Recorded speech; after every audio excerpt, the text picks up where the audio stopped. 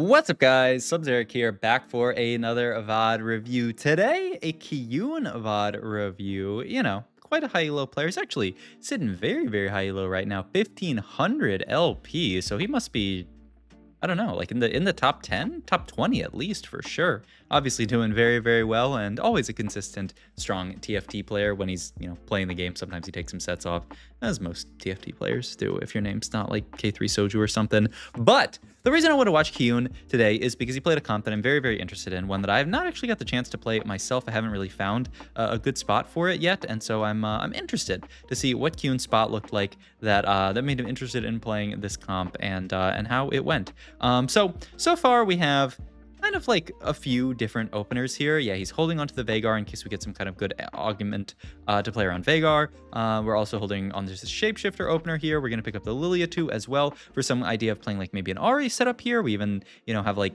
Spark that you really want the Cloak for adaptive. You know, we'll see. We do have this full Guinsoo here, which is maybe a little bit of direction uh, towards something, but we'll see. First augment here, Hedge Fund, Vanguard Crown, and Level Up here nothing I'm actually too, too hyped about, I would say. Um, Level Up and Hedge Fund have been both buffed this patch, so they're actually like fine. Uh, they used to be like quite bad statistically, but but they're fine now. So I, I could see myself taking hedge fund or level up if uh, if the situation calls for it. Vanguard Crown is just not very good. Shimmer Scale Essence though, and yeah, you see this. The second Kiyoon sees Shimmer Scale Essence, he's like, okay, I'm taking this. This augment is so so strong. Um, it's still very very strong even after current nerfs to to Moguls and Gambler's Blade. Let's actually pull up a little uh, stats check right now. tft.op.gg slash metatrends slash augments. Um, so let's pull up this and we'll just look for shimmer scale essence. Um, not all the shimmers. Yeah, still still a pretty good uh, average, 4.36. Not like insane. And I'm interested actually, you know, we can we can filter this as you go um, higher in like uh, in different ranks. I mean, throw like GM plus in here just to see um, how it does even higher elo. And yeah, wow, the higher elo you go, I mean, this is obviously like a small sample, but once you go to really, really high elo, the statistics look uh, look very, very nice. Um, the only slightly sus thing here is we have just a Neeko as our All That Shimmers holder. You could, you could honestly, um, yeah, you could honestly maybe not even um, put this onto Neeko. you could actually like I wouldn't be that surprised if it's better on uh, on Blitzcrank here over the Neeko because Blitzcrank is just a monster. Uh, but Kiyoon actually he has this Guinsoo's Rage Blade. He has all the Shimmers in this spot here, so he's going to call uh, Jinx, which actually makes a lot of sense. I think my head was covering it up potentially, but he calls Jinx in this spot, which is interesting, right? Uh, if you looked at the thumbnail, you probably know that this is not a Jinx game, um, but it makes sense how we ended up in the comp that we ended up in. Also, what the fuck is that shop?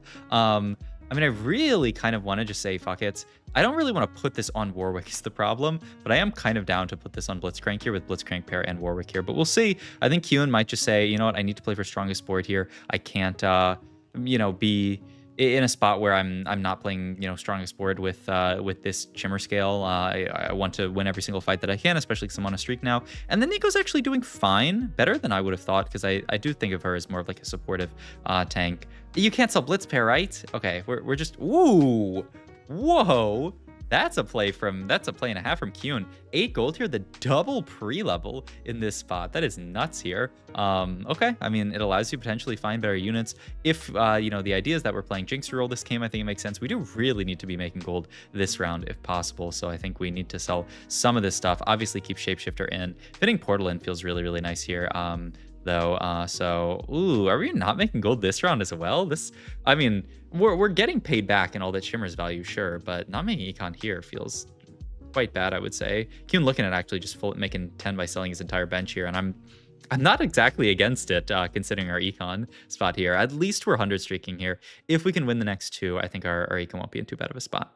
Uh, the obvious pickup here is Gargoyle. There's also, I think, a Wukong with a belt on Carousel. That'd be nice. Oh my god, we're gonna get a three-cost Gargoyle here. I mean, this is the best possible situation. Uh, this is all that you could ever ask for. It's nice. It's smart from uh, from Kiyoon that he opted to actually, you know, play for this Gargoyle Slam. I mean, I, you know, obviously it uh, it's pretty easy to do when you have the Guinsoo as your other slam, uh, but this is smart to go for because chain is not that high priority of a component off carousel. Pretty easy to get a chain off your first carousel, and getting this puts us in an amazing spot here. We're going to fit Scholar onto our board, uh, and yeah, we're just going to stick with this Neeko. I mean, I honestly, obviously Blitzcrank is a monster, and you know Kiyoon is still actually holding out for potentially the Blitzcrank three, I think, or the Blitzcrank two. I think the second we find another Blitzcrank, he would certainly consider moving items over. Um, though, yeah, and he's not going to make gold. Wow, I mean, this game is actually, I'm really, really surprised by Kiyoon's priority so far this game to not make gold but he's holding out on a lot of options. This is wild. I like this a lot, though. L look at the left side of his bench, and you can start to see the idea of how we actually get into the comp that we get into this game.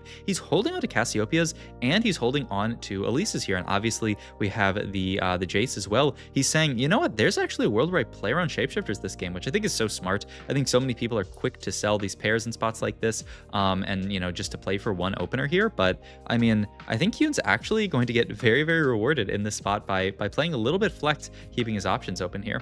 Picks up the Gambler's Blade here, which is obviously just going to go on the unit with a Guinsoo. We can start selling some of this stuff um, just so that we, you know, make sure that we have enough space to actually pick up orbs here. Um, yeah, it feels a little rough even to hold all of this stuff. So yeah, he's going to sell the Nomsy here. I think this makes sense. We maybe need Nomsy down the line, but we'll see.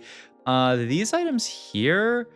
I'm not too hyped about any of these. Uh, like if you're playing for something like uh, Jinx, yeah, I mean, ugh, these are these are kind of rough. It could just be your Morellos that you throw onto a secondary unit here and look for sword item onto Jinx is maybe the idea. The, you do end up losing the Giant's Belt as a potentially a tank item though if you do that. Random minor effect here, and yeah, he's actually just gonna make the Sterak's here. Wow. I mean, I, I, think this makes sense as a as a slam, and it's it's very very smart for Shapeshifter in as well. Like we are talking about, that can be the board here on level six, and he's still just gonna continue to play around the the uh, the three portal for now. Um, but yeah, I mean the Sterak's Sterak's is like a pretty eh item. It's it's an okay tank item. It's certainly worse than some of the other uh, you know like belt items that you can get, but it's decent. You know, it's it's serviceable and it's it's not that much worse than something like Warmog's. This actually really really rough that we're fighting this person who has Ascension as their charm because we end up losing to them. That is so so rough here. Uh, okay, Little Buddy's Unified Combat Caster. Interesting uh, choices here. We don't have all, well, I mean, we have the Gargoyles. Unified tends to be pretty bad when you're playing Gargoyles, so I would lean towards Combat Caster here. He's thinking about maybe even Little Buddies, which is shocking to me. I don't really want to take Witchcraft or Portal Plus One, so yeah, he's just going to uh, grab the uh, Combat Caster there. Um, and wow, I mean, even from this spot, right, we're rolling on uh, on six. This means, and yeah, you can you can see the pivot come out here. Um, knows that he's gonna play a shapeshifters game here. Rolls down a bit uh, deeper, even further, to try to um, Get extra units. This actually sucks because uh, looks like we can still maybe make gold. Yeah, though we can't actually hold on to extra Syndras. But we are, okay, finally, I don't have to tiptoe around it anymore. We are playing a Shapeshifters, uh, a vertical Shapeshifter uh, Cassiopeia and Syndra reroll game. This takes me way back to the, uh, you guys know, the first patch of this set. I mean, unless you guys started the set a little bit later, but you know, first patch of the set, everybody was playing around this. I wonder if we move items here off of Neeko onto the Swain here. Uh, Neeko is kind of the preferred tank just because she's a stronger unit. Um, and ooh, I kind of like this. We already pick up the Karma, so we're just going to play around the Karma instead of Syndra. Syndra is such a bad unit uh, statistically and just uh, in all things um, that, yeah, he's just going to say, who, who really even cares about playing Syndra on this board here? I'm going to look at, uh, though he's going to make Syndra 2. Interesting. I mean, huh. Surprising to me that we would make Syndra 2 but not play it, especially because like if we're making it, this means we're going to play Syndra later. Wild. Uh, we have the rod open here. We have basically Guinsoo Guinsoo already, so we are looking for our last item here. Cloak is fine for something like some MR Shred, especially it's something like a Shyvana, right? An Ionic Spark would be really good. She is now much more of like an AP fighter type unit. We're to roll each round for Charm, and wow, this is a deep roll here, but we do kind of get rewarded in this dummy that gives us gold, and hitting the Neeko too is really, really big here, and we can start to sell a lot of this other stuff that doesn't matter that much. Even the Karma, it's to take so long for her to get into the board, especially because we have so much more rolling that we have to do on six here, but the hope is at least that we can win this fight and that Moguls and the uh, the Gambler's Blade can replenish our gold a bit here. Hopefully we get Mogul's proc here. It's actually pretty close, 32 stacks, yeah. I mean, we got, we we netted more gold here from the fact that we had the uh, the the dummy that generates gold, so it's fine. But yeah, I mean, I imagine we're going to sit, uh, ooh, this does literally nothing. Our entire board's two-starred. I don't know if you can roll any deeper than 30 gold, though. Like, rolling for another charm is going to be really, really tough. I, I like generally how Kiyoon has spent his econ um, this stage. Why is that a Kalista 2? Oh my god. Okay, and they have uh, little buddies. That's kind of crazy. They don't actually have that many little buddies on their board. I mean, they have, like, four four costs on the report, I think, uh, maybe three. So they actually don't have a ton of little buddies here. But that is, uh, wow. I mean, that's subscription service for you. That is subscription service in a good scenario. I've had some subscription services that are uh, how uh, not not so good, but that's okay. In any case, we're four streak here. We only have four of these Cassiopeias. I'm a little apprehensive about that, uh, about our spot. Um, but okay, pick up another rod here. I mean, ideally you want Gunblade. Moonlight Ritual, very, very good in a spot like this. We are going to just get a three-star unit here. Um, and he's just rolling down to, you know, try to pick up any duplicates that we can. We also have this Nasus already. Uh, Morello for the heal cut, uh, or Spark. Um, we're going to go for the Morello for the heal cut here onto the Syndra. She spreads it pretty well. You could also throw it onto uh. Um, I feel like she spreads it quite well as well, but the idea maybe is that Syndra, uh, one, can be like a duo carry if we throw this onto her, and two, um, is just like a good general holder of anti-heal because she hits a lot of units. All right, last augment here, probably Immovable object. You could consider Final Ascension, actually, with the fact that our Shapeshifter is going to buy us a lot of time. I'm not that comfy with that. I, I would go immovable here, but I think Kiyoon's just to do a stats check here, so we're about to see what uh, what the statistics tell him is stronger here, and yeah, he's to go for the immovable. Okay. Cassiopeia, I mean, I think this charm is fine. I do think, yeah, you absolutely roll on a 50 here. Um, you could, yeah, I don't think you dip below 50 right now, but you can you can start looking at dipping below 50 soon.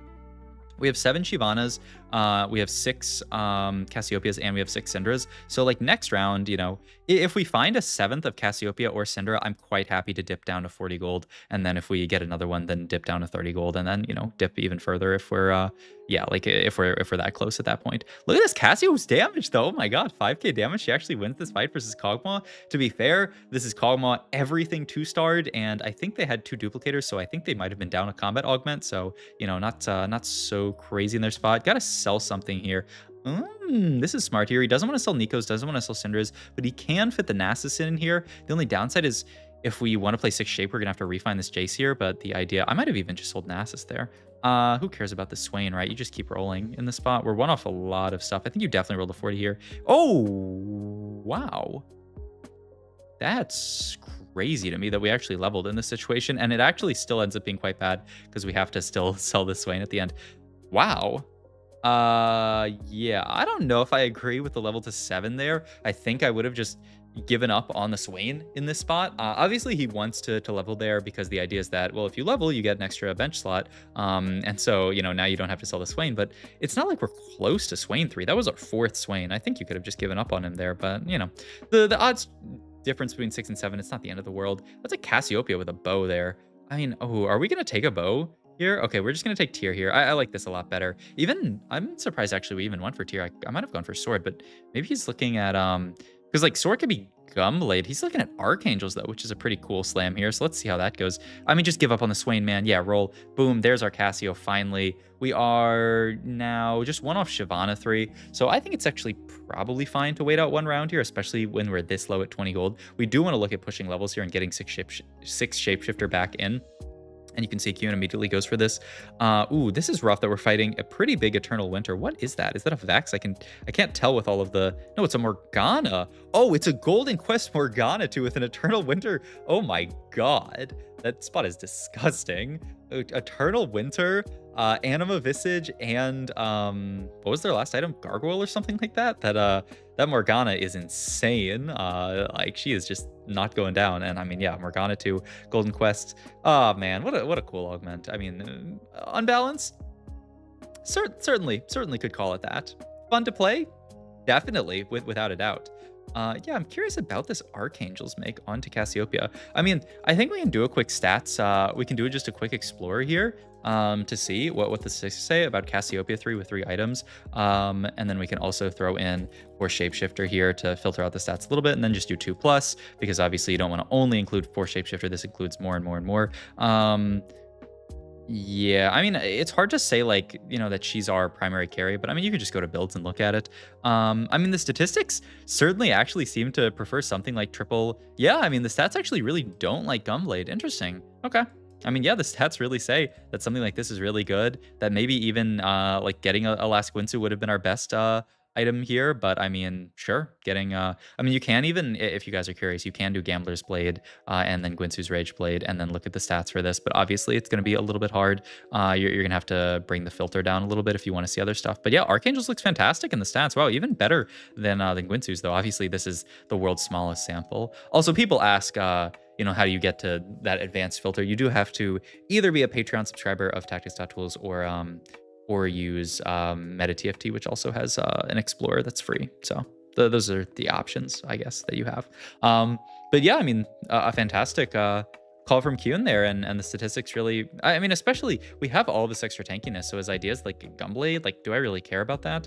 Voidling there is solid. We pick up a Smolder. I don't know if, yeah, I don't know if that's even fitting onto our board. We also hold Nasus pair here over the Elise. Oh, no, no, no. That's actually our first, uh, no, no, no, that is Nasus pair. Interesting. I I know maybe it's maybe it's controversial. I kind of maybe would have thought about actually holding um onto Adaptive Helm, Static Shiv. I like these items a lot. Uh, I would have actually thought about holding onto Elise over Nasus pair there because we we need the Elise to play six Shapeshifter on level eight. Uh, the Nasus too. I mean, it matters to some degree, but it doesn't matter that much. We're, we're eventually going to have a Neeko 3, hopefully. Uh, random TG is good. He actually just throws it onto the Shiv here because it's always going there, which I think is fine. Oh, I'm a bit surprised. Uh, that we actually rolled here after we hit a charm. I guess the idea is we want to fit another like good unit onto the board, and now we have two Neeko 2s, which is something to throw on the board. So his idea is just like find me something to play. Um, but yeah, I mean, I, I feel like we should be rushing. I mean, maybe we're not going to rush to level 8 because level eight's a big upgrade in that you get six shapeshifter on the board but the downside is you you lose the odds of digging for uh the uh the three stars um ooh look at this i'm i kind of like this comp obviously like this is a really really good setup to, to play this comp in where you've got the uh you guarantee the moguls for a, a tanky shapeshifter frontline and you guarantee the gamblers for cassiopeia which you looked in the we, we looked at the stats earlier. This is one of her best items. Makes a lot of sense right? Uh, i mean she's a auto attack base champion through and through. Also, look at this Kog'Maw. Shojin, Shojin, Shojin. Is this Fist Kog'Maw? It's actually not bad on him to just get him casting a bunch and then fueling this Tristana to cast a lot. We might lose to this. Yeah, I think we are. Oh my god. Yeah, Shojin, Shojin, Shojin, Kog'Maw. That is that is actually uh, this, but uh, but whatever. I mean, you can't be mad about it. But yeah, I'm curious to see, will we go eight or are we going to continue to roll on seven? Because obviously Cassiopeia 3 is really, really big, but it also is really, really big to like, you know, have the rest of our uh, uh, getting six shapeshifter in. Death cap here for our Shyvana, I guess, is the idea. I, I, think so. I mean, it's a Shyvana 3. Shyvana is more of a damage dealer now. And yeah, looks like we're to sit on uh, on level 7 here. Um, we don't quite have it yet, right? We, yeah, we, we don't have uh, six shape, even if we wanted to play it uh, right now. Like, we couldn't level for it. Um, so yeah, we, we, we still need to find either those one costs or the uh, the five costs, the the Briar. So we'll uh I guess we'll see. We fight this Eternal Winter again. It's This is such a tough matchup for us. I think we're going to lose this again. Yeah, our board is decent, but I, I don't think he can get through that, especially without uh, hitting our three stars. Ooh. Okay, we're going to go for it. Um, It's not on any despair, right? I mean, it's just like, unless you want to... No, I mean, who even shields on this board? Nobody. Yeah. I mean, it's either DFG or Luden's Tempest Shyvana. I mean, we can do a stats check if, if you guys want, because I have no clue uh, DFG or uh, or Luden's Tempest here. I mean, I don't think either of these are like amazing um, on Shyvana, but I mean, maybe. I mean, I could see maybe Luden's being good on her. Shyvana three, uh, call it item count three, because we're gonna get to a third item for her uh, later uh, and do four shape plus uh, tier 2 plus. I don't want to put the other stuff in. Um, and then go to items. Why is the, the font for this so weird? Um, we're to go to Ornn item here and we can just look. Oh, there is no sample for this at all. Oh my god. Bring the sample down to 30? Why not? But at that point, like, what's the point? Uh, DFG or Ludens are the ones I'm looking for. So Deathfire, it does. Does Ludens appear? I neither appear on the stats. So you can't even do a stats check. I mean, that is uh that is rough here. Okay. I kind of like the idea of Ludens. Uh, RFC is actually pretty good on um, on Cassiopeia. The problem is we can't really move it. All right, he's gonna go for the DFG. DFG is damage amp, um, just on the the target, so not uh, not bad by any means. We are pretty low econ here, which feels really really bad for our Gambler's Blade. We are also fighting a Diana too. This lobby is insanely strong, so we're gonna lose this fight as well. The upside, 26 HP, um, so we almost have a top four locked in, but it's so so close. There's another um Elise finally. So if we were able to hit everything and push level, we'd be able to play this, but I don't think that's happening at this point. I must say, like, we're either going to level here or we're going to hit uh, our three star. I imagine the three star is more important, especially because we're two off, but we'll see how Kiyoon uh, decides to prioritize this. Um, he's gonna he's gonna go for the level. Okay, so he you don't wait what? Yeah, he has a shape. Okay, that was that looked very very weird for a second. Um, last Shyvana item here. Blech. Sun Sunfire? IE. Oh, I'm down. I mean, she's a damage dealer. Throw a damage item on her. And wow, he's actually even going to sell the extra Neekos here because he knows we need to win this fight. I love this from Kiyoon. I think this is so smart. Oh, and look how close this fight was. I mean, this was a huge, huge play from Kiyoon. I think it's so easy to get like fed up and be like, ah, I'm just going to, you know, I am going to hold all my stuff. But like he knows the chance of rolling down for a Neeko 3 is not that high. I am just going to play strongest board here. I'm going to level for six shapeshifter, and this is going to be my spot. Uh, and I'm just going to play it. Also, there's some loud helicopters going over. I, I added a noise gate to my mic, but I don't think that affects that. So I don't know. Maybe you guys for the helicopters. Um, I don't think we're winning against this board, though. I mean, I think a top three for a two-cost reroll comp. Think about this comp similar to like Kog'Maw, where you're playing for a lot of three-star two costs. So you're playing for, you know, not max cap, but a strong mid-game and, uh, and you know, capping out at a fourth or a third or something. Um, so I think you absolutely take a third with this comp. And I think this is a really, really fun game to watch. A lot of cool uh, decisions made this game. A lot of wild econ decisions made this game. And, uh, and showing off a pretty solid comp overall that, you know, can farm top fours, top threes, uh, similarly to the Kog'Maw comp that I think a lot of people like, but this is a lot less popular. So hope you guys enjoyed this video. If you did, please like, comment, and subscribe. Check my Twitch and all my links down below. Thank you guys for watching.